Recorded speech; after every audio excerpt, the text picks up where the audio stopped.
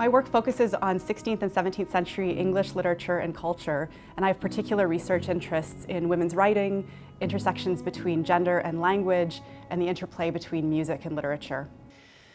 My father fain would have me take a man that hath a beard. My mother, she cries out alack, and makes me much afraid.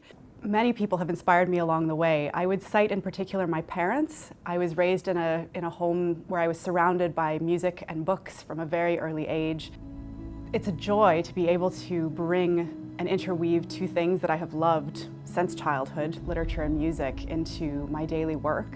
But I would say at the moment, the thing that I love most about it is the opportunity to advocate for women's writing and for the workings of gender in both historical context and our contemporary culture.